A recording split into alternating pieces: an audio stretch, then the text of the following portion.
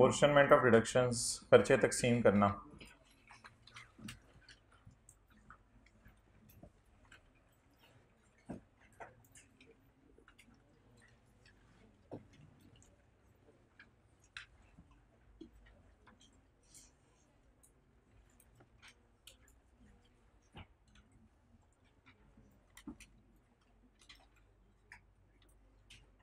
Okay तो कल हमने पढ़ा था ग्रॉस रिसीट एक ऐसी रिसीट होती है, जिस तक पहुँचते हुए खर्चे माइनस जिसे सेल कहते हैं। Gross receipt receipt without deduction of expenditure खर्चे माइनस किए बगैर जो रिसीट होती है that is called as gross receipt अच्छा।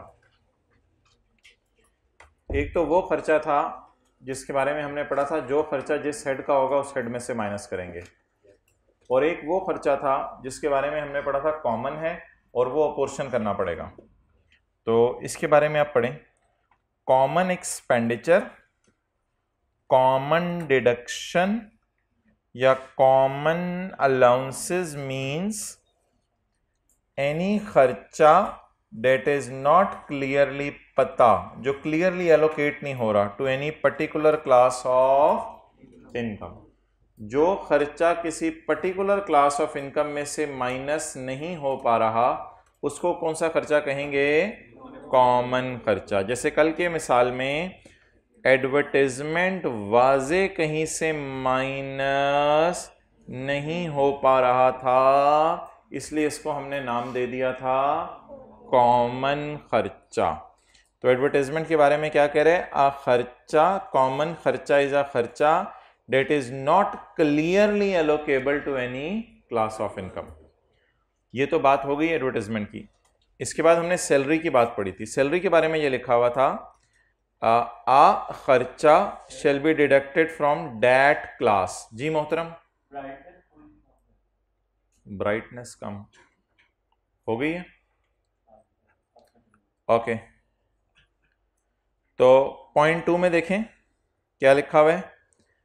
Any expenditure that is incurred for a particular class of income shall be allocated to any expenditure which is incurred for a class of income shall be deducted from that class और ये तो वो बात हो गई दूसरी बात any common expenditure any is a is an expenditure that is not clearly allocable to any particular class of income तो पॉइंट टू की मिसाल हो गई सैलरीज और कॉमन एक्सपेंडिचर की मिसाल हो गई एडवर्टाइजमेंट नोट कर लें। इसकी मिसाल होगी सैलरीज और इसकी होगी advertisement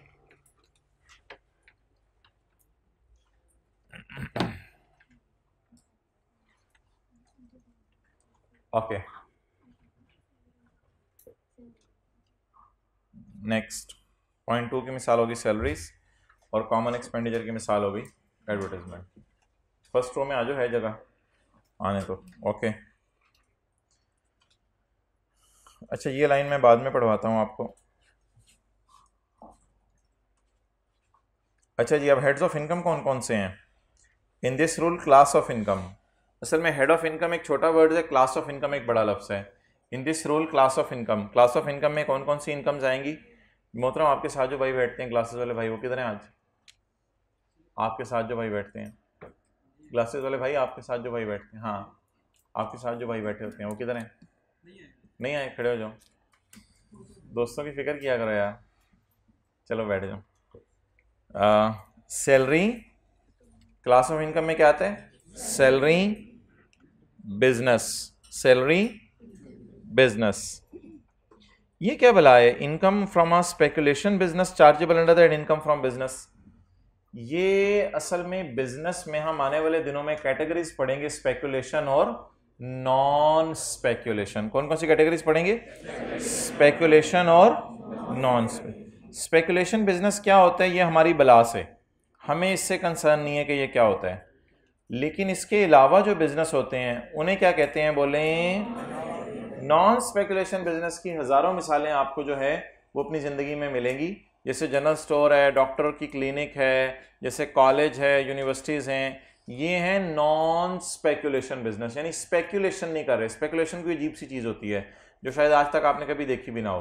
तो जब आपका रिज़ल्ट मई में आ रहा है ना, जब आपका रिज़ल्ट आ जाएगा रिज़ल्ट के बाद इंशाल्लाह हम देखेंगे स्पेकुलेशन बिज़नेस क्या होता है। अच्छी वाली समझ आ रही होती है, पता नहीं जेन कहाँ ले जाते हैं। पॉइंट सी तो इनकम फ्रॉम स्पेक्यूलेशन बिज़नेस ये भी हम देखेंगे आने वाले दिनों में कौन सा होता है। होता ये बिज़नेस ही है, लेकिन ये अजीब सा बिज़नेस होता है। ओके और इनकम्स कौन सी थी जी? Capital gain other source property exempt income कौन सी है? एग्रीकल्चर इनकम और ज़क़़त एग्ज़ाम इनकम तो नहीं है, ज़क़़त तो टोटल इनकम में से माइनस होती है, ज़क़़त तो इनकम है ही नहीं, ज़क़़त तो जेब से पैसे जाते हैं, ज़क़़त कैसे इनकम हो सकती है? सुबह सुबह बुलवा रहे हो। Point H income chargeable to separate block ये आपने इसकी कोई मिसाल नहीं पड़ी हुई और इसकी मिसाल आपको अभी जो है, वो ज़बरदस्ती अगर आपका नोट करने को दिल चाह तो कर लें, लेकिन कोई फ़ायदा नहीं होगा आपको नोट करके, क्योंकि ये मिसाल हमने आने वाले दिनों में बड़ी डिटेल से पढ़नी है। सेक्शन 37 ए के नाम से एक सेक्शन होगा gain on securities gain on securities को सेपरेट ब्लॉक कहेंगे। हमें क्या पता सिक्योरिटीज़ क्या है और हमें क्या पता उसका गेन क्या है? इसलिए जो है, वो इस बात को हाँ करके आगे चले जाएँ। तो ये हो गई इनकम फ्रॉम सेपरेट ब्लॉक और income from final tax regime कल हमने पढ़ ली थी बिल्कुल। इसकी हमने मिसाल ली थी मोहतरम एक्सपोर्ट सेल एक्सपोर्ट सेल इसकी एक मिसाल पढ़ी थी हमने। ओके तो ये हैं जी डिफरेंट क्लासेस ऑफ़ इनकम और ये बात तो कल हमने पढ़ी थी वाइल एलोकेटिंग खर्चे खर्चे माइनस करते हुए the nature and source of each class must be considered तो खर्चे माइनस करते हुए आपने नेचर और सोर्स देखनी है। यानी इसकी नेचर ऐसी है कि इसके लिए खर्चे ज़्यादा करने पड़ेंगे क्योंकि इसकी सेल ज़्यादा है और इसकी सेल कम है, इसके लिए खर्चे कम करने पड़ेंगे। तो इसको हमने कम खर्चे डाले थे पंद्रह सौ के और इसको हमने पैंतीस सौ के ज़्यादा खर्चे डाले थे क्लियर तो नेचर और क्लास ऑफ़ इनकम को कंसिडर करना है आपने before taking any decision okay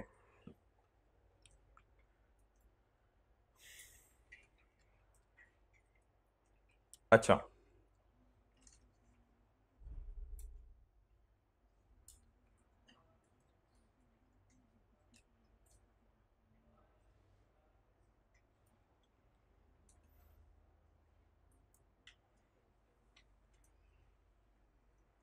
अच्छा कल मुझे बताएँ कि कितना खर्चा हमने पाँच हज़ार को तोड़ के कितने हिस्से किए थे? दो। एक पंद्रह सौ और एक पैंतीस सौ। पंद्रह सौ और पैंतीस सौ हमने इसके तोड़ के दो हिस्से किए थे। अब मेरा सवाल आपसे ये है कि पैंतीस सौ की जगह क्या कैलकुलेशन एरर करके तीन हज़ार जवाब आ सकता है? एरर की वजह से आ सकता है? पैंतीस सौ की जगह एरर की वजह से चौंतीस सौ जवाब आ सकता है? थर्टी फाइव हंड्रेड की जगह एरर की वजह से थर्टी सिक्स हंड्रेड जवाब आ सकते हैं। थर्टी फाइव हंड्रेड की जगह फोर थाउज़ेंड जवाब आ सकते हैं। तो अब सवाल यह है कि अगर उस फॉर्मूले में कोई एरर हो जाए, जो फॉर्मूला कल हमने लगाया था, पेपर में नहीं कह रहा मैं मैं ये बात कर रहा हूँ एफ़ को पता चल जाए, फेडरल बोर्ड ऑफ़ रेवेन्यू को पता चल जाए कि आपने वो फॉर्मूला लगाने में क्या कर दिया है, एरर कर दिया थर्टी फाइव हंड्रेड की जगह आपने थर्टी फोर हंड्रेड लिख लिया है। या थर्टी फाइव हंड्रेड की जगह आपने फोर थाउज़ेंड लिख लिया है, क्योंकि पाँच हज़ार को तोड़ के एक हिस्सा थर्टी फाइव हंड्रेड था। तो इस जुर्म की सज़ा क्या होगी? तो उसके बारे में लॉ मेकर कहते हैं कि भाईजान अगर एरर 10 परसेंट ऊपर की हो या 10 परसेंट नीचे की हो तो उस एरर को मैं इग्नोर कर दूँगा और मैं कहूँगा इंसान है एरर हो ही सकती है। लेकिन अगर एरर 10 परसेंट के अंदर अंदर हो 10 परसेंट के अंदर अंदर हो तो फिर एक्सेप्टेबल है लेकिन अगर 10 परसेंट के ऊपर ऊपर हो लिमिट क्रॉस कर जाए फिर एक्सेप्टेबल नहीं है। अब कैलकुलेटर पकड़े बगैर मुझे बताएँ पैंतीस का दस परसेंट कितना आ रहा है? थ्री फिफ्टी अच्छा। पैंतीस सौ में से अगर मैं माइनस करूँ थ्री फिफ्टी तो चले माइनस भी ना करें थ्री फिफ्टी। पैंतीस सौ थर्टी फोर हंड्रेड में कितना फ़र्क है? सौ रुपये का। क्या ये सौ रुपए का फ़र्क थ्री फिफ्टी के फ़र्क जितना है या उससे कम है? इसका मतलब है पैंतीस सौ से चौंतीस सौ की गलती एक्सेप्टेबल है। पैंतीस सौ से चौंतीस सौ की गलती एक्सेप्टेबल है, क्योंकि साढ़े तीन सौ की लिमिट के अंदर अंदर गलती है। साढ़े तीन सौ की लिमिट कैसे निकाली थ्री फिफ्टी की? पैंतीस सौ जरा टेन परसेंट अब दोबारा लगाएँ पैंतीस सौ पे दस percent. Three fifty three fifty की गलती एक्सेप्टेबल है। लेकिन मुझे बताएँ, इन दोनों के दरमियान डिफरेंस कितना है? 500 जब इन दोनों के दरमियान डिफरेंस 500 है तो 500 का साढ़े तीन सौ से कंपेयर करें तो ये तो बड़ी गलती है, छोटी गलती है? बड़ी गलती है। ये गलती एक्सेप्टेबल नहीं है।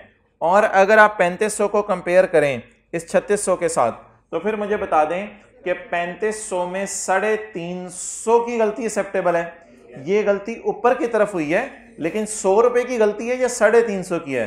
सौ रुपए की गलती है तो छोटी गलती है या छोटी मोटी?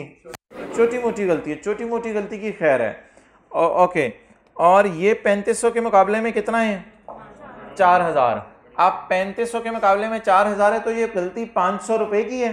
तो ये पाँच सौ रुपए की गलती छोटी मोटी है या मोटी मोटी है? मोटी मोटी गलती है। तो मोटी मोटी गलती एक्सेप्टेबल नहीं है। ये नोट कर लें आप। कौन कौन सी गलती एक्सेप्टेबल है और कौन कौन सी गलती एक्सेप्टेबल नहीं है? ये वाली दो एक्सेप्टेबल थी गलतियाँ, क्योंकि 350 के अंदर थी, लेकिन ये वाली दो गलतियाँ एक्सेप्टेबल नहीं थी। ये वही उसका आखिरी लाइन हमने पढ़नी है प्लस माइनस टेन परसेंट जहाँ लिखा हुआ है।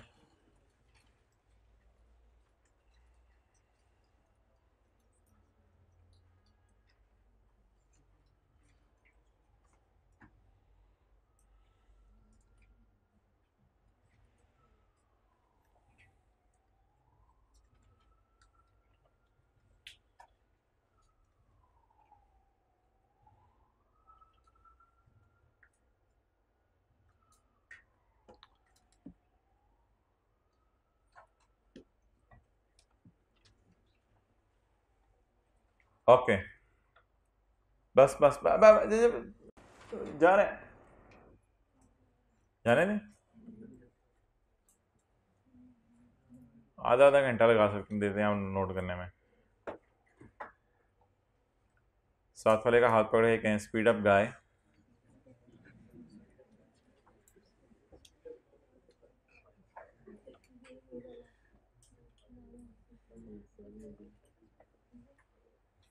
बस यार तो इनको आधा घंटा भी दे दें तो इन्होंने नोट ही करते रहने चलें। Okay, guy. यार, जल्दी क्या करो ना।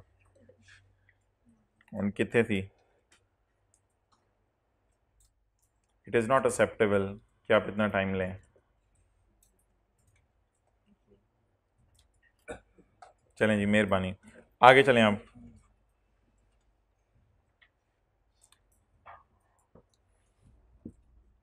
अच्छा ये the basis of allocation of expenditure expenditure allocate करने की बेसिस कल किन बेसिस पे एलोकेट किया था? सेल की बेस पे किया था या अन्य वाह किया था? ब्लाइंडली कहते हैं अंग्रेज़ इसको. सेल की बेस पे किया था या ब्लाइंडली किया था? सेल की बेस पे किया था. The basis of allocation of expenditure uh, the basis of allocation of deduction, the basis of allocation of allowances should be certified by a CA जिसकी क्यों में दो अटेम्प्ट लगी हों should be certified by a CA or a cost and management accountant should be certified by a CA or cost and management accountant ये एक certificate आप बनवाएँगे जिस पे चार्टेड अकाउंटेंट से साइन करवाएँगे चार्टेड अकाउंटेंट कहेगा भाईजान पाँच हज़ार में से पंद्रह सौ आप माइनस कर रहे हैं, मैं सर्टिफिकेट बना के देता हूँ, सही माइनस कर रहे हैं। पाँच हज़ार का पैंतीस सौ माइनस कर रहे हैं, मैं बिल्कुल इजाज़त देता हूँ, आप सही माइनस कर रहे हैं। बाद में पैंतीस सौ की जगह इधर चार हज़ार हुआ तो फिर चार्ट अकाउंटेंट को छितर पड़ेंगे, क्योंकि टेन परसेंट तो क्रॉस कर गई है ना लिमिट तो टेन परसेंट के अंदर अंदर की गलती एक्सेप्टेबल है? इससे ऊपर की गलती हाँ गलता है वो। The basis for allocation of expenditure, the basis for allocation of deduction, the basis for allocation of allowances should be certified by a chartered accountant या ज़्यादा पैसे ले रहा तो फिर cost and management accountant से करवा लें this certificate shall be accepted by commissioner हुकूमत वाले सर्टिफिकेट को मान लेंगे हाँ एक सूरत में ये सर्टिफिकेट नहीं मान लेंगे अनलेस देर इज़ अ वड्डी वेरिएशन वड्डी वेरिएशन कौन सी होती है? बड़ी वेरिएशन टेन परसेंट प्लस की गलती कर दी या टेन परसेंट माइनस की गलती कर दी? फ्रॉम एलोकेशन एलोकेशन होनी चाहिए थी पैंतीस और पैंतीस सौ और आपने लिख दिया चार हज़ार। तो फिर ये पनिशेबल है। क्लियर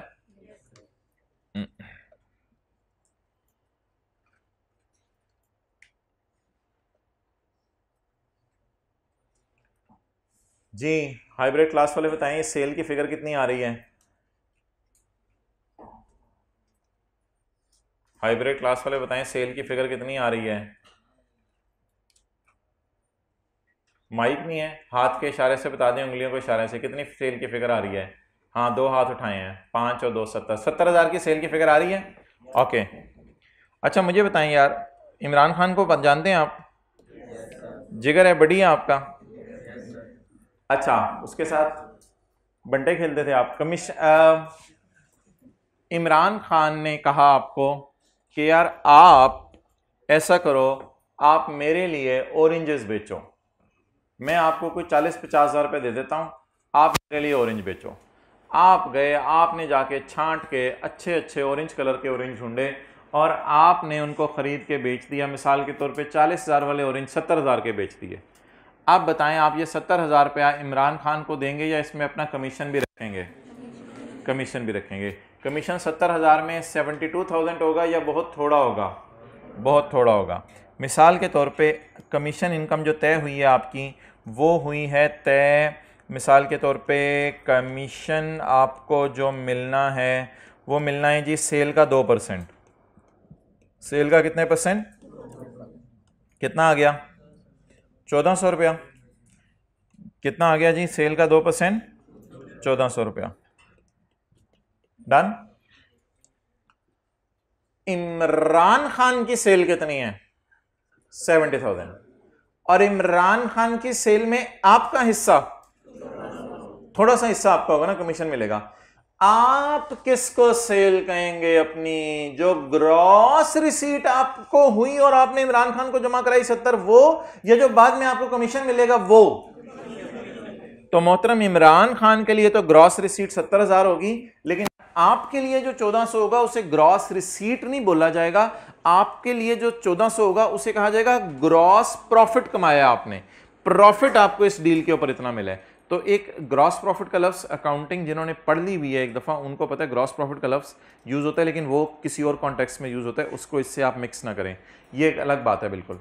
तो for Imran Khan the gross receipt is seventy आपने उसके लिए सेवेंटी लिए तो आप अपनी ग्रॉस रिसीट भी सेवेंटी कह देंगे। तो जब कभी फॉर्मूले में एलोकेशन की बारी आई तो आप क्या कहेंगे? मैंने मैंने पाकिस्तान की दुकान से कितना कमाया? तीन लाख। कनाडा की दुकान से कितना कमाया? सात लाख। और इसके अलावा मुझे इमरान खान ने कहा था, तुम मेरे लिए काम करो। तो उसके लिए मैंने सत्तर हज़ार नहीं कमाया, मैंने अपने लिए चौदह सौ कमाया। अब अगर आपको कोई खर्चा एलोकेट करना पड़ा तो आप अपनी सेल क्या लेंगे? सत्तर हज़ार या चौदह सौ? तो फ़र्ज़ करें, एक आपकी अपनी दुकान पाकिस्तान में है कल की तरह। पाकिस्तान की दुकान की सेल कल तीन लाख थी। एक आपकी अपनी दुकान कनाडा में है, उसकी सेल सात लाख थी। लेकिन एक और एक्टिविटी आपने की, वो थी किसी के लिए एजेंट बने कमीशन पे काम किया। अब आपकी सेल दिखने में सत्तर हज़ार लग रही है, लेकिन ये आपकी सेल नहीं है। आपकी सेल या आपका ग्रॉस प्रॉफिट कितना है? फोर्टीन हंड्रेड तो what will be the gross receipt for agent असल में ये ग्रॉस रिसीट देखने में होगी, लेकिन इसे हम नाम क्या दिया करेंगे? ग्रॉस तो इसको मैं ग्रीन सिग्नल दे रहा हूँ। एजेंट इसको अपनी सेल कहेगा क्लियर और इसे नाम ग्रॉस प्रॉफिट दे देते हैं अलग करने के लिए। नोट कर लें, वो जो एक लाइन छोड़ दी हुई हमने बीच में।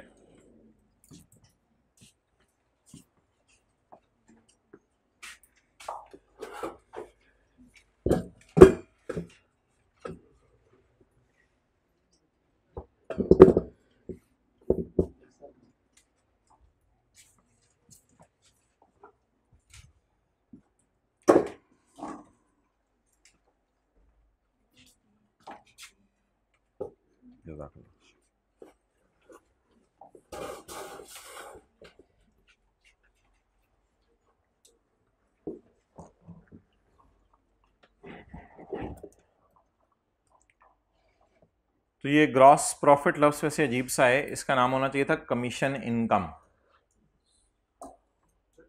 जी?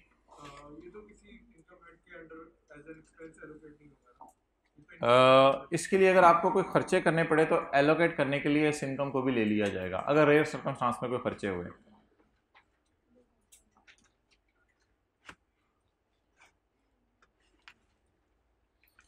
चलें जी।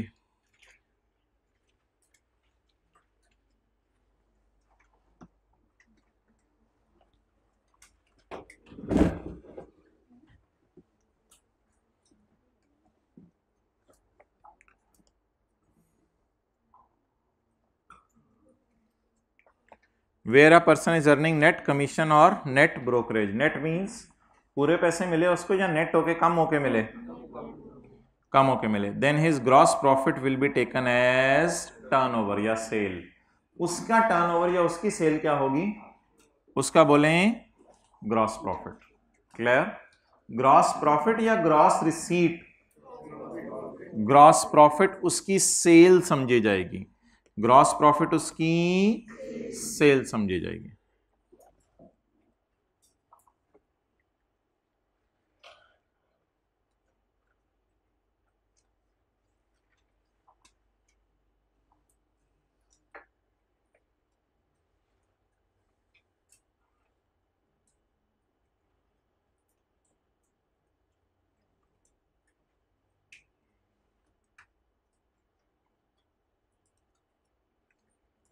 क्लियर चलें जी। तो ये एक पॉइंट है, ऐसे ही एक बीच में, इसको बस एज इट इज़ याद कर लीजिएगा। Where a person is earning net commission और brokerage then his gross profit his gross receipt नहीं his gross profit will be taken as a turnover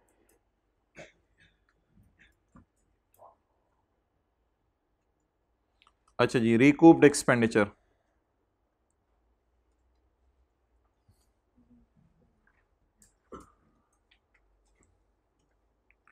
ज़िंदगी में कभी आपको कोई खर्चा रिकवर बैक हुआ है? रिकवर बैक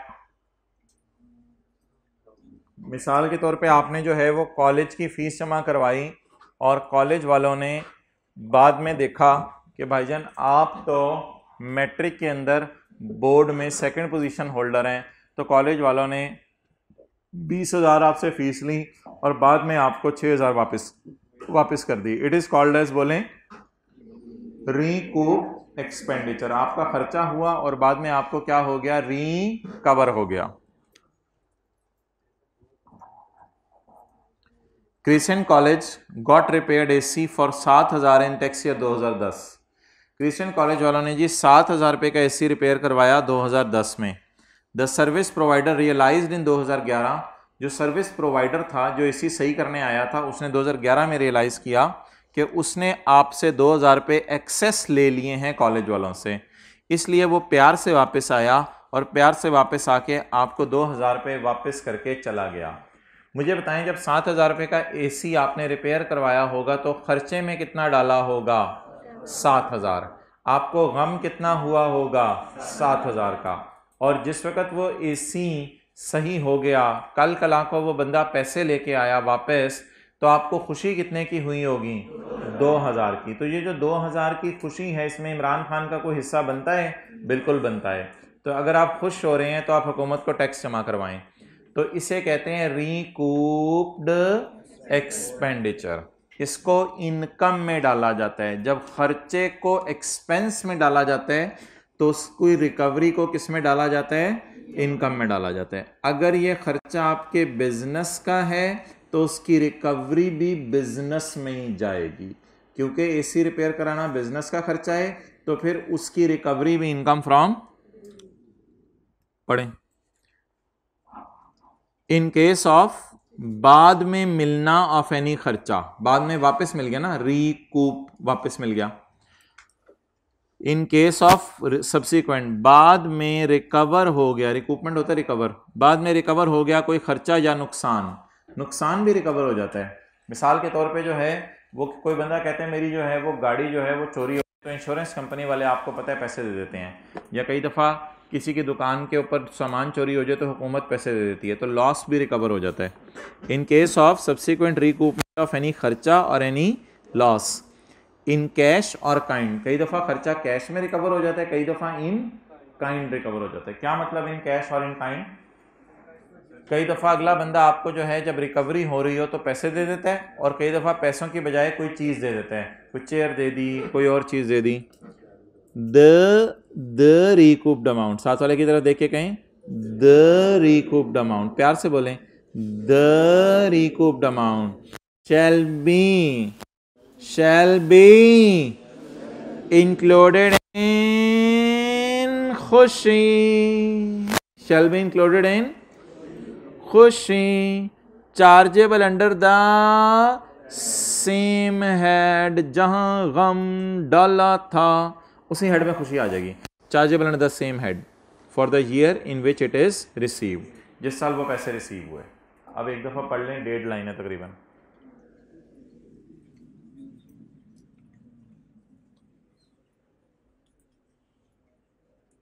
यार ईद का दिन छुट्टी कर लें। कोई एक दो ना छुट्टी कर लें ईद के दिन। मेरे तो दिल में यही आ रहा है, थोड़ा सा ज़रा घर वालों को भी टाइम दे देंगे। क्या ख्याल है? एक दो दिन कर लें छुट्टी या ना करें? पाँच छः दिन छुट्टी, क्या आप लोगों ने उधर जो है वो लुट मचानी है? अच्छा जी। जी मोहतरम।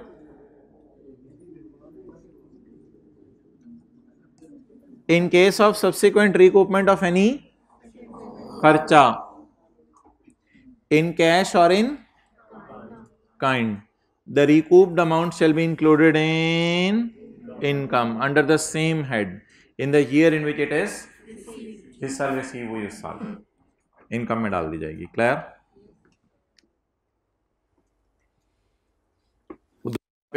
पढ़ लें। येलो में।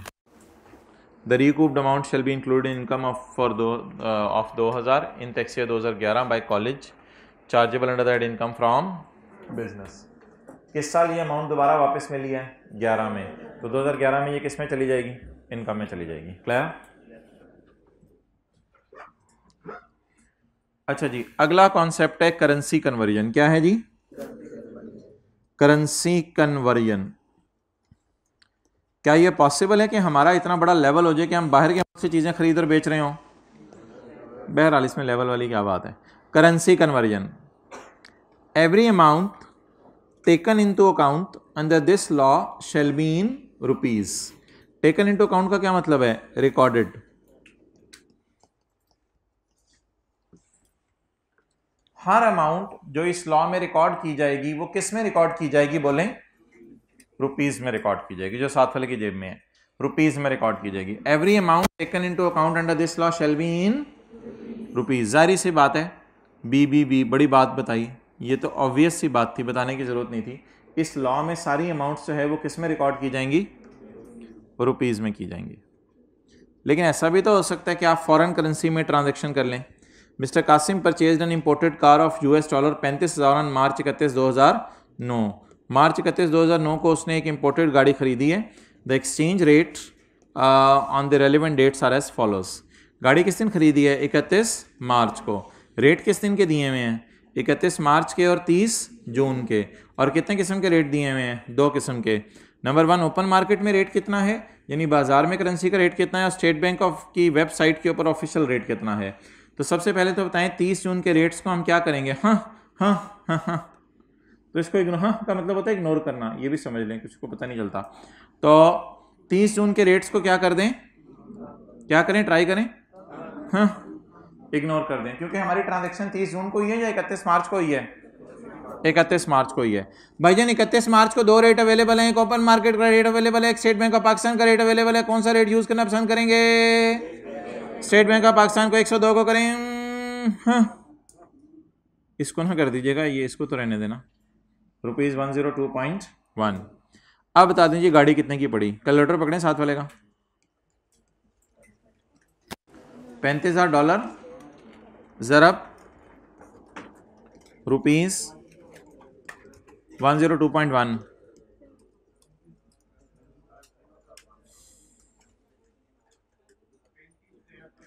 Three five seven तो पैंतीस लाख तिहत्तर हज़ार पाँच सौ रुपये की आपको ये गाड़ी पड़ी। आप किताबों में इस अमाउंट पे रिकॉर्ड करेंगे और इसी तरह इसको इस्तेमाल करेंगे डिप्रिशिएट भी करेंगे इसको। डिप्रिसिएशन हम पढ़ेंगे अभी कुछ लोग इंट्रो पढ़े हैं उनको डिप्रिसिएशन नहीं पता तो डिप्रिसिएशन भी हम पढ़ेंगे। तो ये जी गाड़ी की कॉस्ट है। जी। ओपन मार्केट ज़्यादा या कम होने इसको हमने नहीं देखना। हमने हमेशा किसका रेट देखना है सिर्फ़? स्टेट बैंक का। पढ़ें point two where an amount is in a currency other than अगर पेपर में कोई ऐसी अमाउंट आ जाए जो अदर देन रुपीज़ हो conversion shall be at the state bank of Pakistan rate conversion किसके ऊपर करेंगे आप? स्टेट बैंक ऑफ़ पाकिस्तान के रेट के ऊपर। किस दिन का रेट प्रिवेलिंग।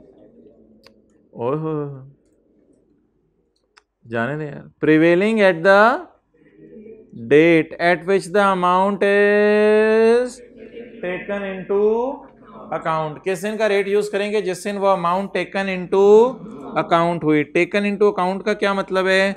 जिस दिन वो अमाउंट रिकॉर्ड हुई।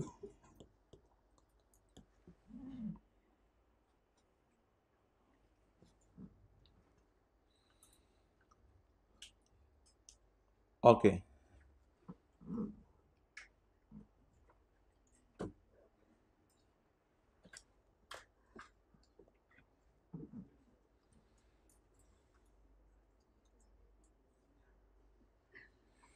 भाईजान ये क्या है? मच्छी। साथ वाला कह रहे गाय फ़िश। भाईजान गाय है, फ़िश है। अच्छा जी। तो ये जी मछली है। बशीर दारुल माही ने कहा, भाईजान, यार ये सारी मछलियाँ मेरी आके खा जाते हैं लोग, मैं दुकान बंद कर रहा हूँ। वो भाईजान, तुम्हें प्रॉफिट चुप, मैं दुकान बंद कर रहा हूँ। तो बशीर दारुल माही वाले ने जी मछली की दुकान क्या कर दी? बंद कर दी। आप अफ्तारी में खाने गए मछली और आपको मछली नहीं मिली। अच्छा अब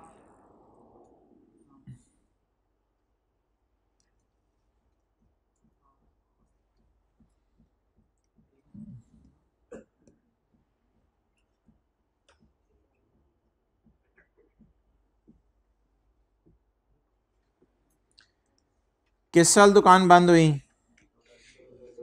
2000 इक्कीस में। अच्छा एक बंदे को 2022 में ख्वाब आया। 2022 में उसे क्या आया? ख्वाब आया। ख्वाब आने के बाद वो चारपाई से उछला और उछल के ऊपर पड़ा है। अब वो पंखे के साथ लटका पड़ा है। अब बड़ा परेशान है कि भाईजान ख्वाब में ये आया है कि तुमने इस दिन जाके तीन चार मच्छियाँ इकट्ठी खा ली थी, हाथ धोने के बहाने घर आ गए थे। तो अब ये सोच रहे कि मैं बशीर साहब को पैसे दे दूँ। लेकिन जाके देखा इन्होंने बशीर साहब की दुकान बंद हो चुकी है। अब ये बशीर मोबाइल बंद, बिज़नेस डील हो रही है, करोड़ों की बंद कर दे मोबाइल। अच्छा अब इसने जाके सोचा कि मैं जाके बशीर साहब को पैसे दे दूँ। तो बिल्कुल। अब इसने सोचा कि मैं बशीर साहब को जाके पैसे दे दूँ। अब ये जो बशीर साहब को इन्होंने पैसे दिए, क्या उसी साल दिए जिस साल इन्होंने दुकान बंद कर दी या दुकान बंद करने के बाद जाके पैसे दिए? दुकान बंद करने के बाद जाके पैसे दिए। तो इनको ख्वाब आया था कि फरिश्ते इसकी ठुकाई कर रहे हैं। तो इसने सोचा कि मैं जो है, वो ठुकाई से बच जाऊँ और 2022 में बशीर को जा, बशीर को जाके पैसे दे दूँ। तो बशीर ने रिकवर किया। बैड डेट बशीर ने रिकवर क्या किया जी? Bad debt Bashir recovered bad debt Bashir recovered वो पैसे जो बशीर के बंदा लेके भाग चुका था, वो बशीर को वापस मिल गए। आप बताएँ, ये जो पैसे बशीर को वापस मिलेंगे, क्या ये उस साल मिले हैं जिस साल दुकान बंद हुई है, या दुकान बंद होने के बाद मिले हैं? तो इसको भी तो रिकूप्ड एक्सपेंडिचर ही कहेंगे ना। खर्चा ही था ना। और भाईजान, जिस वक्त वो बंदा पैसे लेके भागा होगा, इस दिन जब वो बंदा पैसे लेके भागा होगा, क्या बशीर ने बोला होगा, डूब गए पैसे, लुट गया मैं? कब बोला होगा? बशीर ने कहा होगा वो भाईजान, डूब गया मैं तो मेरा क्या बनेगा? खुदा, अल्लाह भला करे, अल्लाह तेरा ना तो इस इस किस्म के फिक्रे बशीर ने बोले होंगे? तो जब बशीर ने इस किस्म के फिक्रे बोले होंगे तो इसका मतलब है बशीर को उस दिन गम हुआ होगा। तो जब बशीर को गम हुआ होगा तो अब जब ये पैसे लेके आया तो बशीर को खुशी हुई। तो ये कि ये भी तो रिकूप्ड एक्सपेंडिचर ही है, लेकिन इसमें और पिछले वाले सेक्शन में ये फ़र्क है कि पिछले वाले में कारोबार बंद नहीं हो रहा था। चलते चलते कारोबार में पैसे आ रहे थे, इसमें कारोबार बंद हो रहा है और बंद होने के बाद अब पैसे आ रहे हैं। तो बस ये हल्का सा फ़र्क है, ये भी रिकूप्ड एक्सपेंडिचर है। और इसका ट्रीटमेंट भी वही है हमने पढ़ा था। ये पैसे बशीरे की सॉरी बशीर की किसमें डाल दिए जाएँगे? इनकम में डाल दिए जाएँगे। चलें जी, डालें इनकम में इसकी। नोट करें, लिखें बशीर दारुल माही। किसने देखनी है घर में किताब आपकी? देख भी ली तो क्या कहना है आपको? Cessation of source of income हम पढ़ने लगे हैं। Cessation of source of income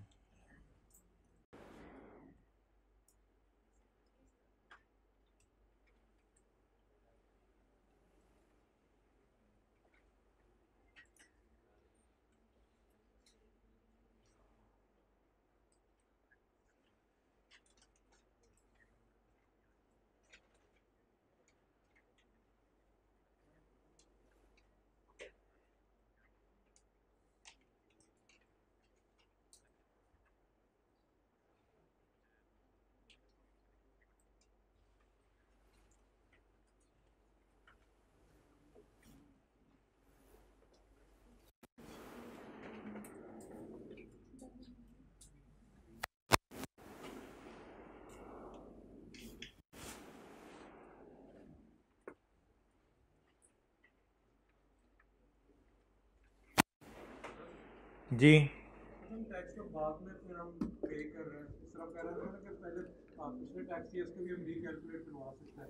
लेकिन इसमें यह होगा कि जिस साल वो पैसे आएँगे 2022 में उस साल इनकम में जाएँगे। हर जगह लॉ की अपनी प्रोविज़न होगी और उसके अपने रूल होंगे। तो ये 2022 की बशीर की इनकम में डाल दिया जाएगा।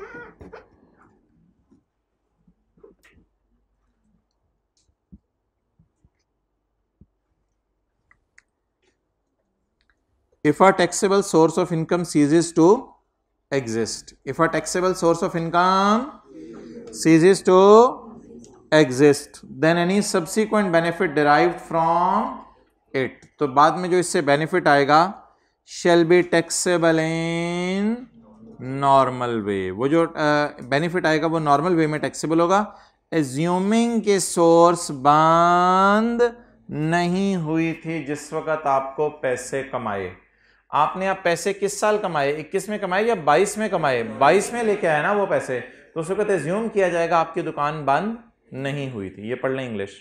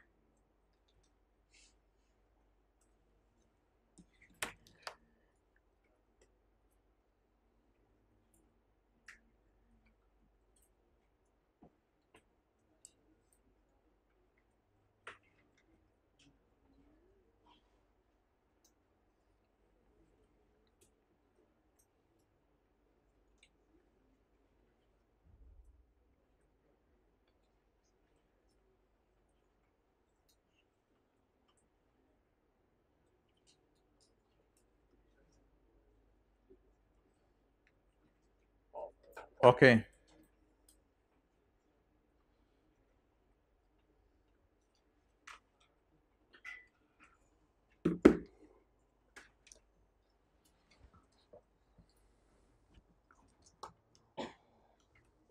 If a taxable source of income ceases to exist, अगर एक ये दुकान टैक्सेबल सोर्स ऑफ़ इनकम है या एग्ज़ाम सोर्स ऑफ़ इनकम है टैक्सेबल सोर्स ऑफ़ इनकम है ना? इस इस दुकान के ऊपर जो इनकम कमाता होगा, इस पर वो टैक्स देता होगा। If a taxable source of income ceases to exist then any subsequent benefit derive from it shall be taxable in the subsequent benefit क्या? दुकान बंद होने के बाद बेनिफिट आया या पहले आया? बाद।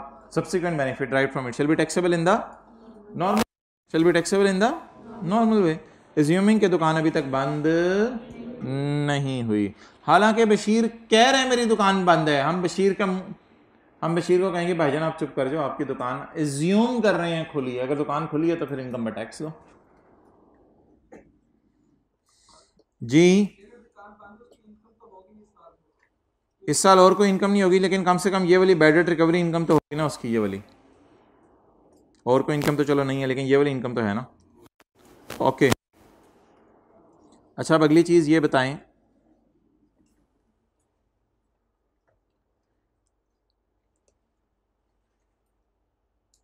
इसका क्या मतलब है? If a source of income ceases to exist before commencement of the year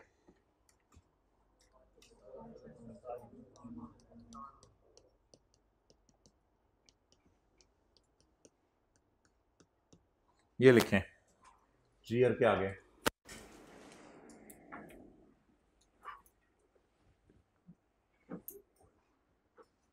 अच्छा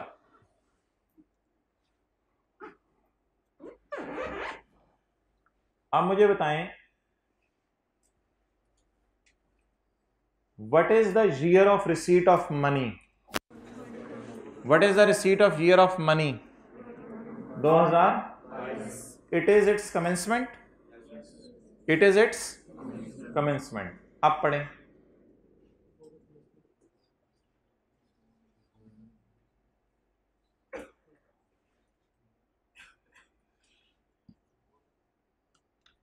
If a taxable source of income ceases to if source of income exists before commencement of year of receipt of money. If source of income ceases to exist before commencement of year of receipt of money. Then any amount recovered shall be taxable in the normal way तो ये English का फ़िक्र है, अच्छे तरीके से समझ लें ये अंग्रेज़ी थोड़ी सी बच्चों को परेशान करती है। कॉन्सेप्चुअली ये बात बड़ी बड़ी आसान है, लेकिन अंग्रेज़ी परेशान करती है। If a source of income ceases to exist बोलें।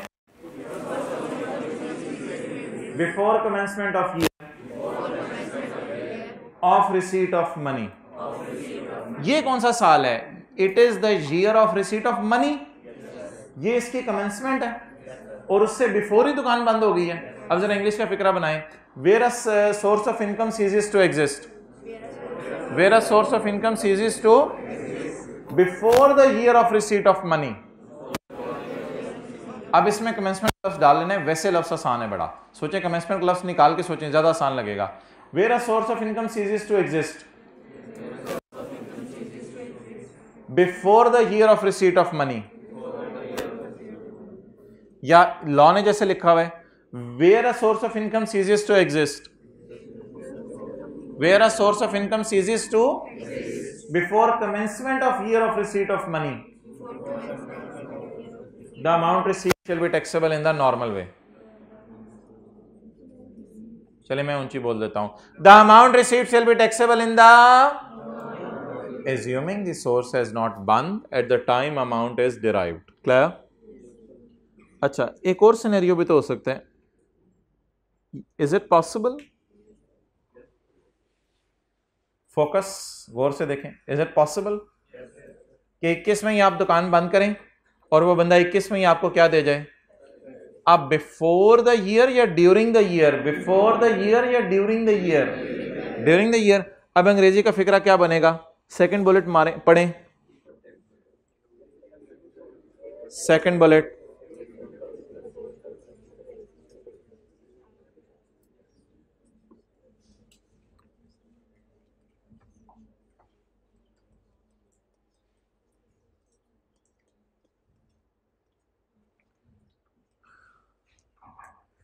if a source of income ceases to, during the year of receipt of money. समझ आ गई? If a source of income ceases to exist during the year of receipt of money. अब ये note कर लें second bullet के लिए। वो first bullet के लिए नोट किया था, ये सेकंड बुलेट की हेडिंग देके ये नोट कर लें। पहले इंग्लिश का फिक्रा देख लें। If a source of income ceases to during the year of receipt of money उसी साल रिसीट ऑफ़ मनी भी हुई। और उसी साल सोर्स बंद हुई। Then any subsequent benefit subsequent ही है ना? Subsequent benefit drive from it shall be taxable in the normal way assuming that source is not बंद at the time income was derived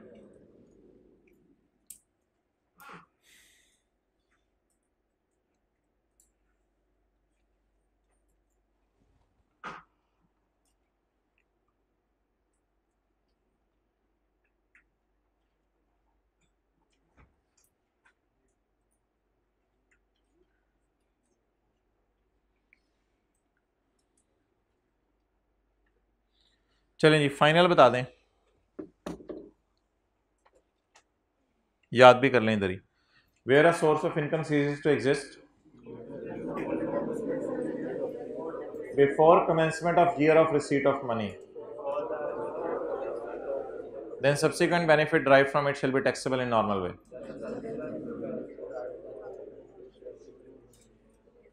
where are source of income ceases to exist during the year of receipt of money. The subsequent benefit shall be taxable in normal way. इसमें मैंने ज़्यादा time इसलिए लगा दिया कि आखिरी दिनों में ना बच्चे ये सवाल पूछते हैं कि इन दोनों बुलेट्स के अंदर डिफरेंस बताएँ तो फिर मैं बुलेट फेंकता हूँ, फिर उन्हें बुरा लगता है। यानी बुलेट फेंकने का मतलब ये है कि भाई भाईजान, आपने कोर से सुनना था। सेक्शन सेवेंटी थ्री ओके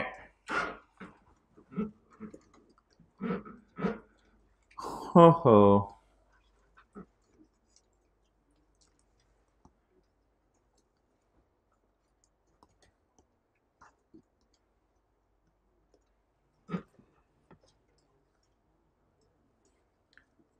दो हज़ार दस और दो हज़ार ग्यारह।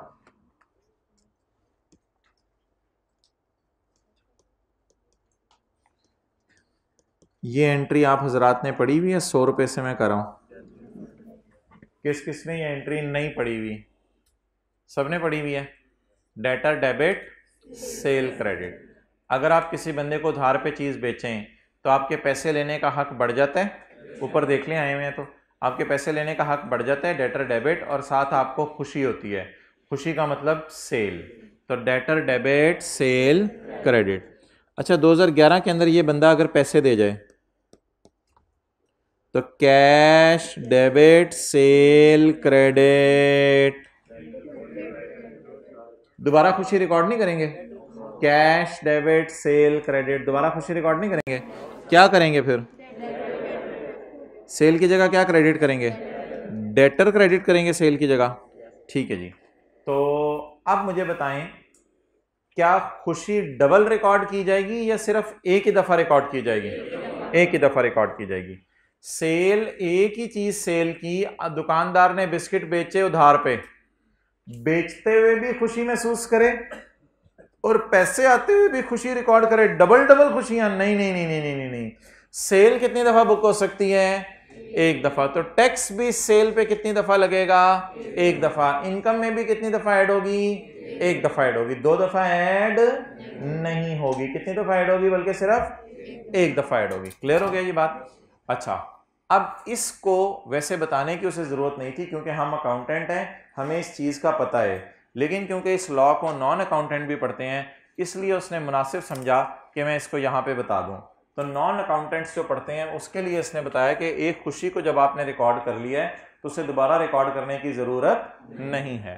तो यहाँ पे वो कहना ये चाह रहा है कि where where any income where any income यहाँ पे वो कहना ये चाह रहा है कि वेयर एनी इनकम बोले? Where any income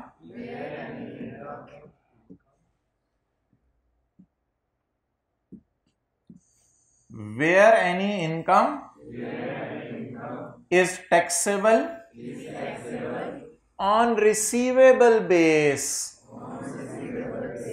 it shall not be taxed again when received. Clear अब इसको जो है वो दोबारा देखें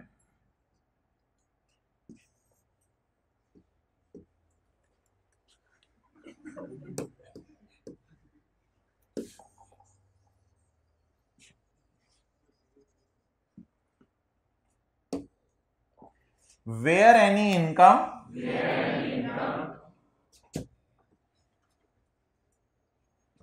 ओ ये थले आ गया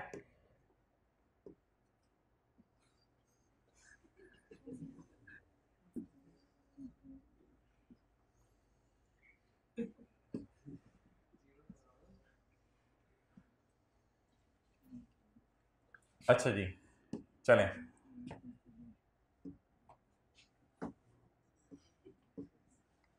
Where any income is taxable on receivable base it shall not be tax again when receive clear तो एक इनकम अगर रिसीवेबल बेस पे सेल में डाल दिया है तो दोबारा रिसीव होने पे आप इसे सेल में नहीं डालेंगे। Clear okay okay. जी। क्योंकि उस पर टैक्स ऑलरेडी 2010 में पे कर चुके होंगे। गाय बिल्कुल बात की तह तक पहुँच गए हैं। चलें जी एनओटी कर लें। हो हो कर लें यार।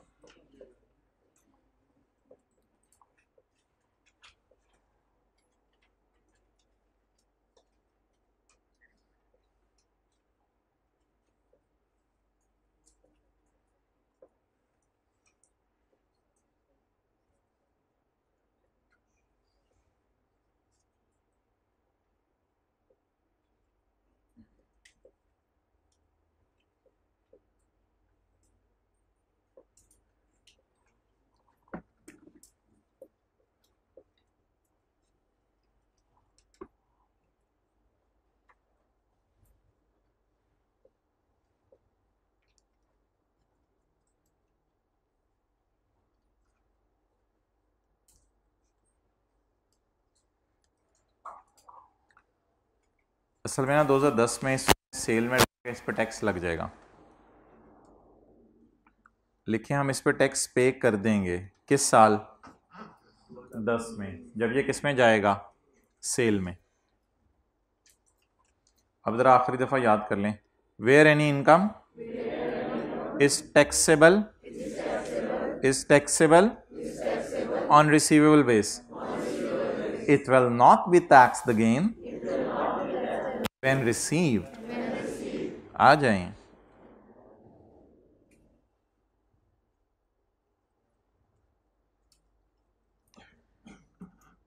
if any income is taxed on receivable base if any income is taxed on it shall not become taxable again on receipt base receivable base पे जब इनकम में चलेगी तो रिसीव होने पे दोबारा इनकम में वाइस वर्षा की कोई मिसाल हमारे स्कोप में नहीं, इसको छोड़ें, बस एज इट इज़ याद कर लीजिएगा।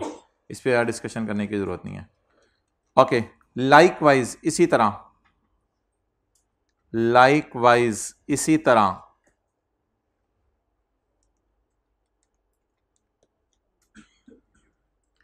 दो हज़ार दस के अंदर मोहतरम, आपने जो है वो बिजली इस्तेमाल की। 2010 में आपने बिजली इस्तेमाल की, लेकिन उसका बिल पे नहीं किया। क्या एंट्री करेंगे?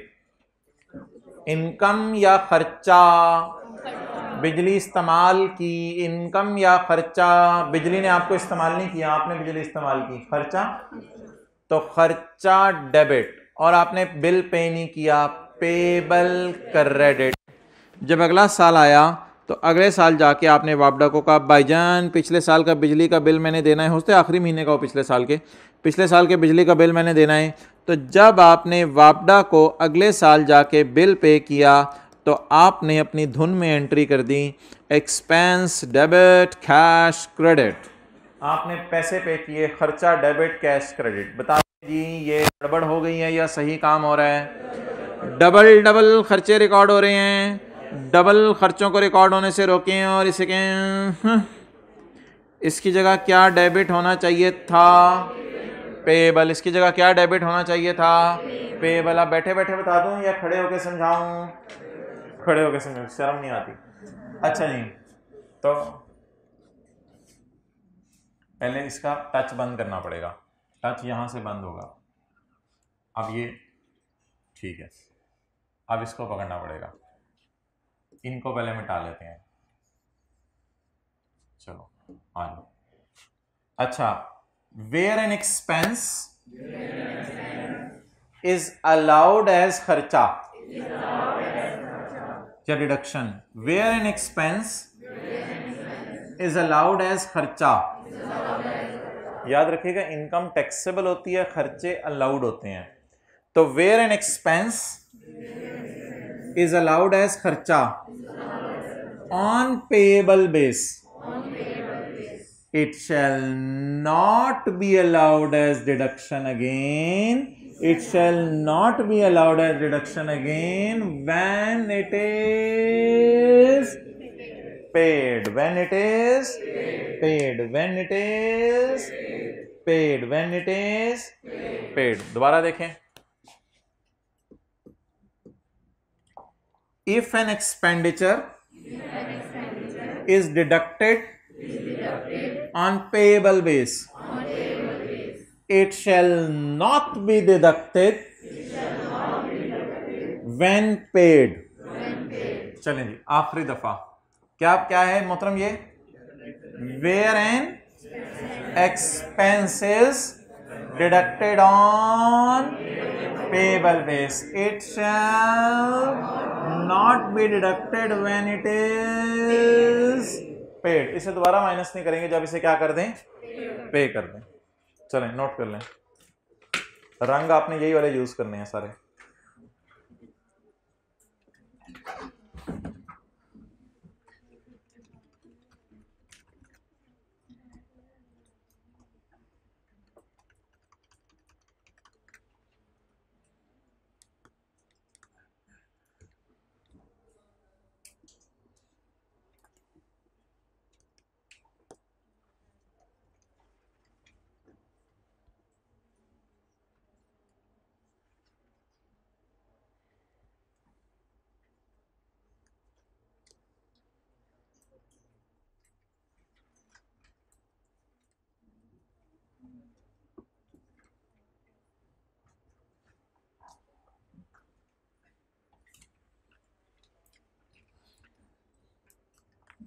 डंडी गायब हो गई है। और तेरी है।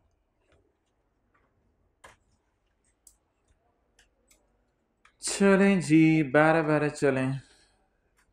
चलें? बैठे बैठे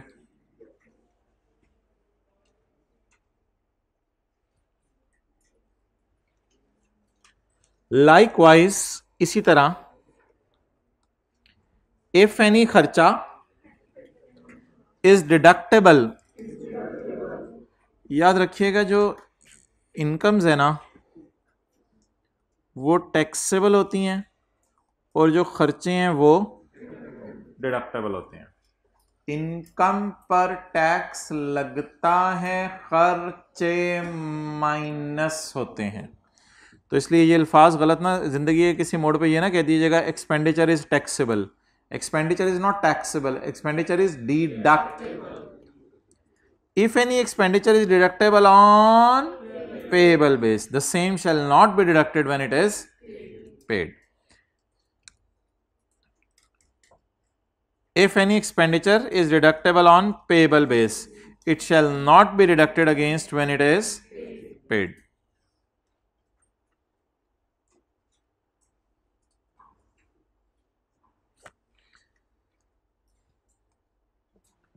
अच्छा जी डिविडेंड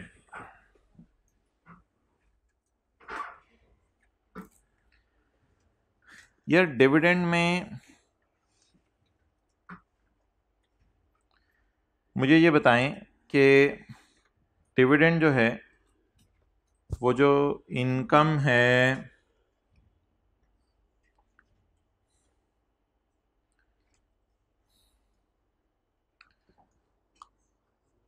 मुझे ये बता दें, चलें। डिविडेंड इनकम क्या होती है? डिविडेंड इनकम यार ये मज का पता है आपको? मज का। मज का पता है?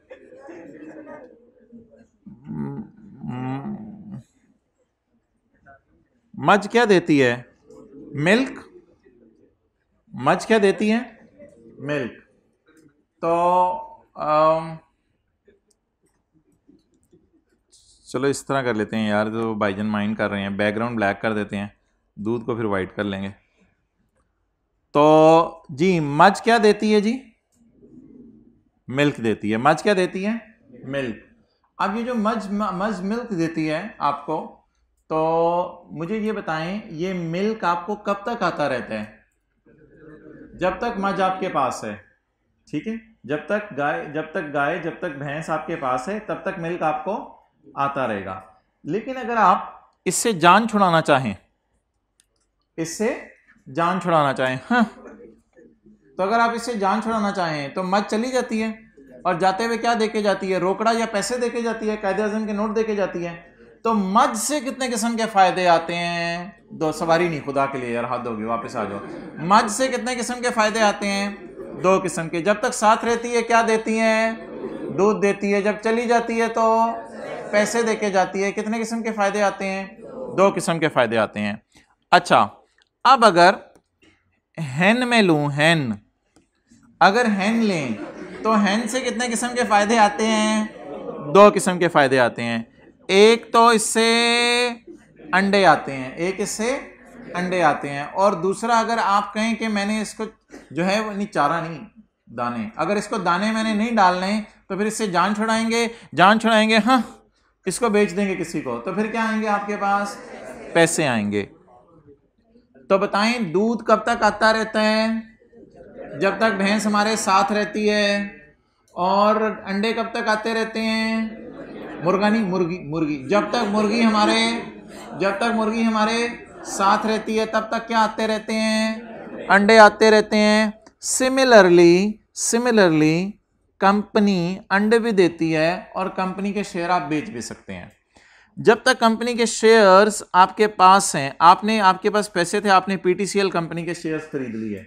तो जब तक ये शेयर्स आपके पास रहेंगे, तब तक आपको हर साल कंपनी अपना प्रॉफिट बांटेगी। तो वो जो प्रॉफिट बांटेगी कंपनी के शेयर्स का मतलब ये होता है कि आप पीटीसीएल के थोड़े बहुत शेयर खरीद लिए पीटीसीएल में हिस्सेदार बन गए पार्टनर समझ ले बन गए। असल में तो ये कंपनी होती है, आप शेयर होल्डर बनते हैं उसमें। तो कंपनी में अगर आपने शेयर खरीद लिए तो कंपनी से आपको हर साल दूध की तरह क्या आएगा? प्रॉफिट आएगा। उस प्रॉफिट को क्या कहते हैं? डिविडेंड इनकम और अगर आप वो शेयर बेच ही दें, फिर आपको डिविडेंड आना बंद हो जाएगा। लेकिन ऐसा भी तो हो सकता है कि आपने किसी कंपनी के लाख रुपए के शेयर खरीदे और चार साल बाद उनको एक लाख बीस हज़ार का बेचा। तो ये बीस हज़ार डिविडेंड इनकम है। नहीं नहीं नहीं। इसको हम आने वाले दिनों में पढ़ेंगे कैपिटल गेन इनकम। इसको आने वाले दिनों में क्या पढ़ेंगे? तो कंपनी के शेयर आपने लाख रुपए के खरीदे और चार साल बाद भैंस को या शेयर्स को इस्तेमाल करके आपने बेच दिया। तो चार चौथे साल जो आपको फ़ायदा आया, लाख रुपए की चीज़ एक लाख बीस हज़ार की बेची that will be your income from उठाई इनको। That will be your income from capital gain और जो चार साल तक आपको जो है वो आता रहेगा फ़ायदा कंपनी से, उसे प्रॉफिट कहते हैं, उसे इनकम कहते हैं। That will be called as dividend income अब दो बातें हैं, दोनों को अलग अलग समझ लें। जब तक कंपनी के शेयर्स आपके पास रहेंगे, एक इनकम आएगी जिसका नाम होगा डिविडेंड इनकम और जब कंपनी के शेयर्स आप बेच देंगे, एक इनकम आएगी, वो होगा भैंस बेचने का फ़ायदा, यानी लाख वाली भैंस एक लाख बीस हज़ार की बेच दी। वो कैपिटल गेन के चैप्टर में हम पढ़ेंगे। फ़िलहाल कैपिटल गेन के चैप्टर को छोड़ दें। बस डिविडेंड याद रखें, हर साल कंपनी अपने प्रॉफिट बांटती है that is called as dividend अच्छा डिविडेंड के लिए जो टैक्स रेट है, वो बड़ा अजीब सा है। ये इसकी थ्योरी हम कल पढ़ेंगे, आज न्यूमेरिकल करना है बस अब। डिविडेंड के लिए पेज 42 पे जो टैक्स रेट है that is 15 percent general tax rate कितना है जी? 15 परसेंट यानी जो बंदा डिविडेंड कमाएगा, वो कितने परसेंट पे टैक्स देगा? 15 परसेंट पे। अच्छा मुझे ये बता दें 15 परसेंट अगर टैक्स लगेगा तो क्या टेबल वन और टू वाला टैक्स लगेगा डिविडेंड पे या 15 परसेंट लगेगा? तो इसका मतलब है, इस पर बाय डिफ़ॉल्ट हम ज्यूम करेंगे टेबल रेट नहीं लगेंगे, बल्कि इस पर एक ही रेट लगेगा डेट इज़ 15 परसेंट ओके अगले सफ़े में न्यूमेरिकल है, वो करते हैं, निकालें।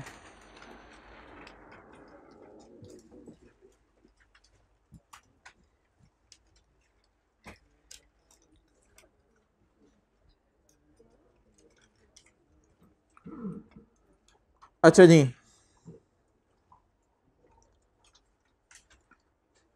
Babar is engage in the business of selling auto parts following is the detail share by him income from business कितनी है इसकी?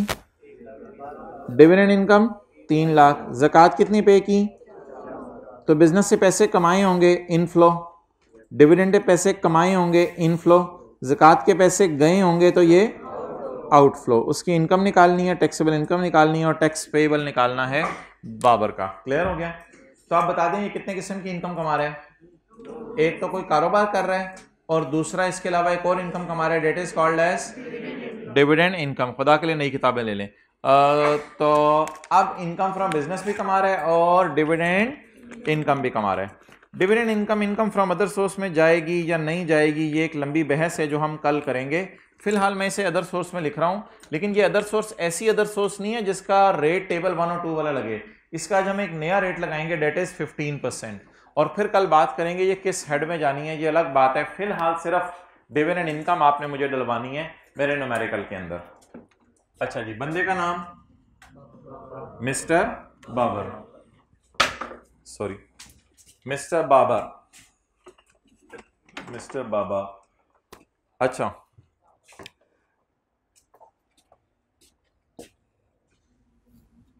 मिस्टर बाबर, दूसरी क्लास में कोई टीए बैठे हैं तो ब्लैक मार्कर ला दें। Mister Babar, income and tax thereon. Mister Babar, उनकी इनकम और उसके ऊपर निकलने वाला tax, income and tax thereon. Tax year सवाल में हमें अवेलेबल नहीं है, इसलिए टैक्स ईयर हम टू ज़ीरो एक्स एक्स लिख लेते हैं। Okay let start. एक इसकी इनकम कौन सी है जी? Income from business. कितनी जी? बारह लाख रुपए आ गई इसकी इनकम फ्रॉम बिज़नेस। इसको इनकम फ्रॉम अदर सोर्स कहना है नहीं कहना ये अलग बहस है। ये कल करेंगे जब आप बहस का मूड बना के आएँगे। कल तैयार होके आने हैं पिछली बड़ी ईद के कपड़े पहन के आने हैं क्योंकि नया चैप्टर शुरू होगा। इनकम फ्रॉम अदर सोर्स में मैं क्यों इसको करार दे रहा हूँ? कल बात करेंगे। फ़िलहाल बता दें डिविडेंड कितना कमाया? तीन लाख। तो बिज़नेस से कितना कमाया? बारह लाख। डिविडेंड कितना कमाया? तीन लाख। अब मुझे बता दें, इसकी टोटल इनकम कितनी आ गई? पंद्रह लाख इसकी टोटल इनकम आ गई। अब आप मुझे बता दें कि मैं तीन लाख को इसमें पड़ा, एक मिनट सबर करें, तीन लाख को इसमें पड़ा रहने दूँ या तीन लाख को इसमें से बाहर निकाल दूँ? अगर तीन लाख को इसमें पड़ा रहने दिया तो फिर तीन लाख पे भी टेबल वन और टू लग जाएगा। मैं चाहता हूँ तीन लाख पे टेबल वन और टू लगाऊँ, या तीन लाख के ऊपर जो है, वो मैं अलग से रेट लगाऊँ? तो अगर मैं तीन लाख के ऊपर अलग से रेट लगाना चाहता हूँ तो ऐसी सूरत में मुझे पड़े हुए तीन लाख को निकालना पड़ेगा। तो पहले मैंने तीन लाख को डाला था इस कैलकुलेशन में, अब मैं तीन लाख निकालने लगा हूँ। लेस डिविडेंड इनकम निकालने की वजह पिछली दफ़ा एग्रीकल्चर इनकम थी कि उस पर टैक्स हमने देना ही नहीं था। पहले डाला था हमने, फिर उसे निकाला था। लेकिन इधर डाल के निकालने की वजह यह है कि डिविडेंड इनकम पे हमने टैक्स देना तो है, लेकिन उन रेट्स पर नहीं देना। तो आज जाके खोती board sorry we are doing professional qualification. So, we are back to 12 lakh. आ जाके वहीं 12 लाख पे जाके खड़े हो गए. आ जाके वहीं 12 लाख पे खड़े हो गए जाके. तो ये 12 लाख असल में कौन सी इनकम बची? अब इनकम फ्रॉम बिज़नेस तो तीन लाख ने पूछा, मुझे क्यों निकाला? तो आप क्या बताएँगे? इसे क्यों निकाला? क्योंकि इस पर अलग रेट लगना है, इस पे अलग रेट लगना है। अब एक और चीज़ माइनस करनी होती है, किसी को याद हो, वो क्या माइनस करनी होती है? जक़ात माइनस करनी होती है। जक़ात सबसे एंड पे आपने माइनस करनी है। जक़ात माइनस करनी है। पहले डिविडेंड को निकालें, वो गलती से डाल दिया था टोटल इनकम दिखाने के लिए कि मैंने टोटल कमाया कितना। तो अब जक़ात माइनस करें। जक़ात कितनी है जी? पचास हज़ार। जक़ात इज़ दिखाओ इधर। जक़ात इज़ फिफ्टी थाउज़ेंड ओके अब ये मेरी आ गई टैक्सेबल इनकम कितनी जी? One one five zero triple zero अभी आपने नोट नहीं करना। अच्छा यार ये जो दरमियान वाली फिगर है ना, इसका असल में ना आई कैप कभी इसका नाम रख देते, कभी नहीं रखता। ना भी रखें तो कोई मसला नहीं। अगर आप अपने समझने के लिए लिखना चाह रहे हैं तो मैं लिख देता हूँ आज नाम। इसको भी टोटल इनकम ही कहते हैं, लेकिन ये ऐसी टोटल इनकम है जिसमें डिविडेंड अब नहीं पड़ा हुआ। पिछले वाली टोटल इनकम वो थी जिसमें डिविडेंड पड़ा हुआ था और इसमें डिविडेंड अब ये ऐसी टोटल इनकम है कि इस काबिल होगी इसमें से क्या माइनस कर सकें? जक़ात माइनस कर सकें। तो अपने समझने के लिए अगर आप घर में अकेले में बैठ के ये दो लफ्ज़ बोल लेंगे तो कोई हरज नहीं। इसका नाम आप रख दें टोटल इनकम और इसका रख दें टोटल इनकम ट्राई करें ज़रा। टोटल इनकम और टोटल इनकम तो बोलते रहे। Total income total income total income कौन सी होगी जिसमें सब पड़ा होगा? और टोटल इनकम कौन सी होगी जिसमें से सब टिकल चुका जो सॉरी जिसमें से सब अजीब अजीब चीज़ें निकल चुकी होंगी? क्योंकि इन पे कौन सा रेट लगना है? अलग रेट लगना है। अब नोट कर लें फिर हम टैक्स निकालते हैं। सफ़ा निकालें रजिस्टर पे नया सफ़े पे हाथ फेरें और शुरू करें नोट करना।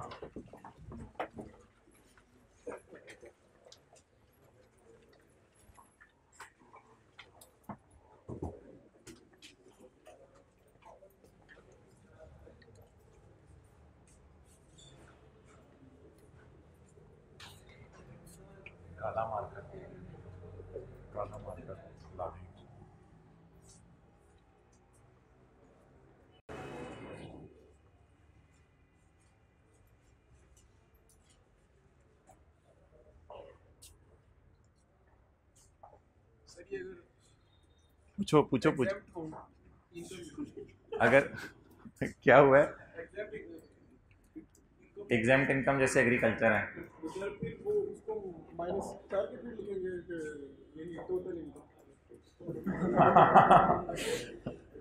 जब आएगी ना बड़े न्यूमेरिकल में तो मैं बताऊँगा आपको। अभी आनी है। अभी तो गेम शुरू हुई है। आगे आगे देखो होता है।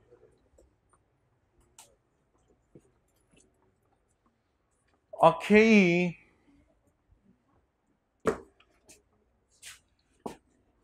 तो बिज़नेस इनकम कितनी है जी? बारह लाख। डिविडेंड इनकम तीन लाख। ये कौन सी आ गई? टोटल इनकम इसमें से आपने डिविडेंड को कहा हाँ, निकल उतरो। बाय सवारी उतारो उतारो। जाओ जाओ इधर से। अब तीन लाख साइड पे खड़ा हो गई। जाओ इधर से। मसूमाना शक्ल बना के निकल जाओ इधर से। अब पीछे वही इनकम फ्रॉम बिज़नेस बच गई बारह लाख। इसमें से जक़ात माइनस की क्या आ गई? टैक्सेबल इनकम अब भाईजान, इस मौके के ऊपर पेपर के अंदर आपने बैठ के एक वो काम करना है, जो काम आपने एग्जामिनर को शो नहीं करना, और वो बस आपने चुप करके कर देना है और एग्जामिनर को शो नहीं करना। वो है आपने टैक्सेबल इनकम पे कितना लगाने सेवेंटी फाइव परसेंट बताएँ जी, क्या जवाब आ रहा है? ताकि टेबल बने वन है या टू है? और खैर टैक्सेबल इनकम का सेवेंटी फाइव परसेंट बताएँ कितना आ रहा है?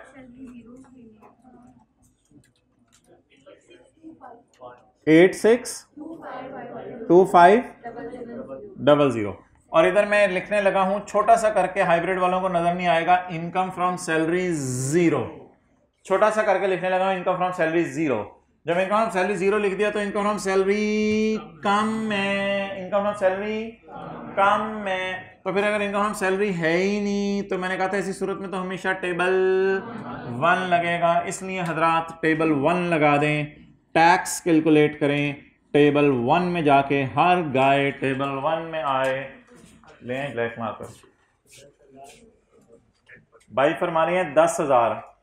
मुझे चेक कर लेने दे, भाई सही फरमा रहे हैं या गलत फरमा रहे हैं? बिल्कुल भाई ने सही फरमाया है। सीरियल नंबर कौन सा लगेगा? थ्री तो where the taxable income exceed six lakh but does not exceed बारह लाख। अच्छा वो ये वो, ये ब्लैक मार्केट ही था, ये तो उधर पड़ा हुआ था। अच्छा दस हज़ार जमा दस परसेंट ऑफ़ अमाउंट एक्सीडिंग छ लाख रुपया।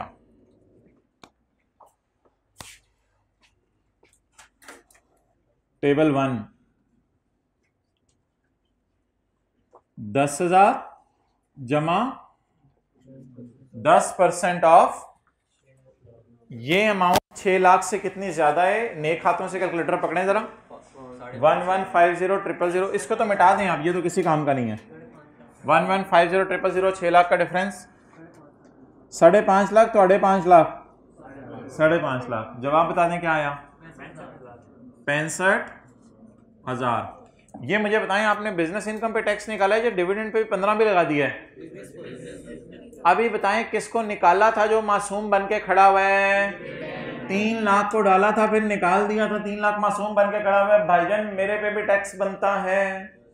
तो अब हम किस पे टैक्स निकालेंगे? टैक्स ऑन डिविडेंड को कल मैं बताऊँगा, फाइनल टैक्स रिजीम क्यों कहते हैं। अच्छा अब हम किस पे टैक्स निकालेंगे? Dividend pay. फ़िलहाल सिर्फ़ लॉजिकल बात करें कि तीन लाख के ऊपर जो है वो पंद्रह परसेंट टैक्स देने, टेबल वन टू वाले रेट नहीं लगाने। तो अब किसको निकाला हुआ है? तीन लाख को उसे बुलाएँ। उस पर बुला के कितने परसेंट लगाएँ? पंद्रह परसेंट क्या जवाब आ गया? Fourteen total. एक लाख दस हज़ार। यहाँ तक नोट कर लें सोल्यूशन में दो लाइनें इसके बाद और भी हैं वो कल समझानी है इसलिए वो मैं नोट नहीं कर जी। डिविडेंड में से जक़ात माइनस नहीं होती। ये भी हम कल ही पढ़ेंगे क्यों? डिविडेंड में से ज़क़़त माइनस नहीं करेंगे, ज़क़़त आप इस बिज़नेस वाले में से माइनस कर देंगे। बस फॉर्मेट पे भी फोकस करो। तो क्या मतलब? मैंने ये तो नहीं कहा कि अब हमारा पढ़ना ख़त्म, मैंने कहा वो दो लाइनें कल पढ़ेंगे। अच्छा अब इधर देख लें मोहतरम, कल की क्लास में इसको ज़रा हम दोबारा रिवाइज करेंगे। पहले ज़रा इसके सॉल्यूशन पे नज़र मार लें। करो कैमरा उधर। पहले देख लेने दो इनको। चलो ले आओ वापस। इधर देखें। बारह लाख, तीन लाख, पंद्रह लाख, फिर तीन लाख माइनस किया, फिर बारह लाख पे पहुँच गए, आ जाके और फिर पचास हज़ार माइनस किया, फिर टैक्सेबल इनकम आ गई, फिर इस पे टैक्स निकाला, और फिर जिसे निकाला था, उस पर टैक्स टोटल टैक्स कितना आ गया? वन टेन इस पे कल डिस्कशन करेंगे। ठीक है जी ओवर